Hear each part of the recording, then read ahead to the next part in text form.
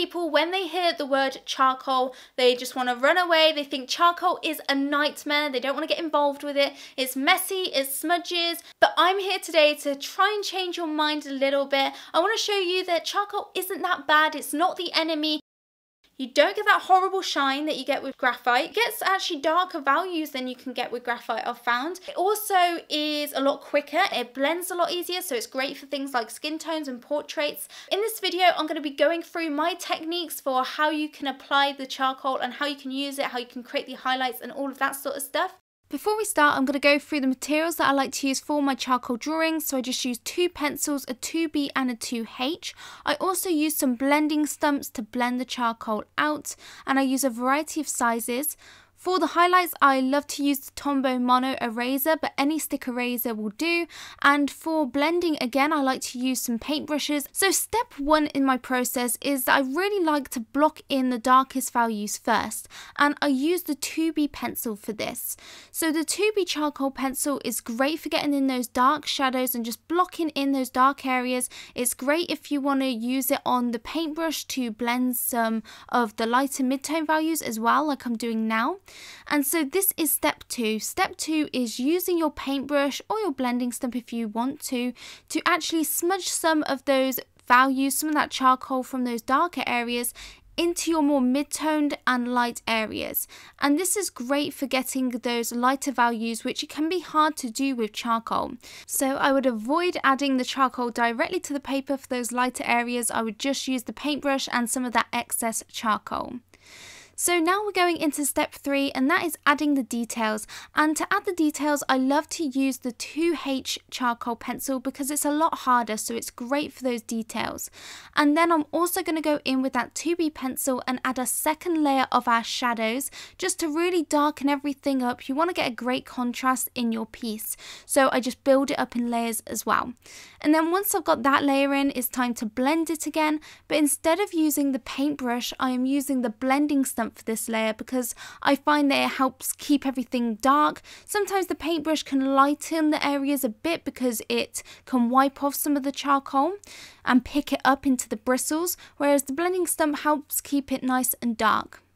And then the fifth step is to add in the highlights. And to do this, I like to use my Tombow Mono Eraser, but any stick eraser will do. And I'm just using that very lightly to pull up some of the highlights and add a great contrast to your piece.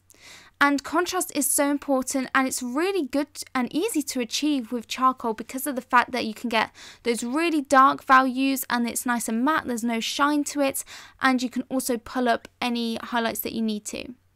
And the final thing that I then do is I just make any adjustments and then I basically just repeat that process for every area in the drawing. Like with the nose, I'm starting off with a 2B pencil, blocking in those dark values, but I'm going in with the blending stump instead of the paintbrush to actually blend it for the first time because when, when there's like dark areas, I just go straight in with the blending stump. But paintbrushes are great for adding those lighter values because of the fact that you can limit how much charcoal you actually have have on your brush, you can wipe off pretty much all of the charcoal so that you can get those really light values.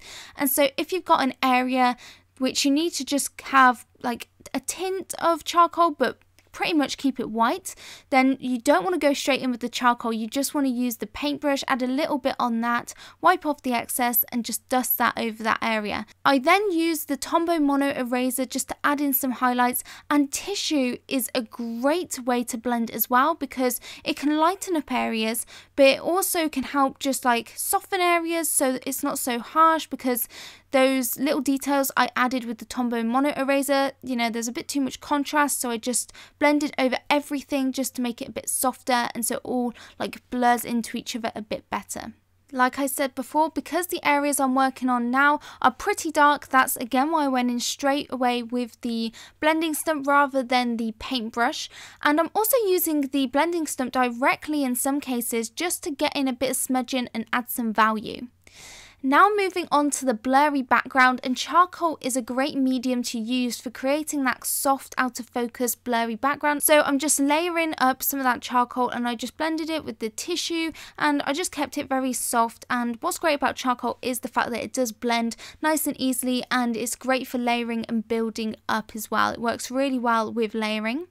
And so to finish this off I'm just adding all of the little fur details with the Tombow Mono Eraser. I find that the Tombow Mono Eraser is amazing for fur.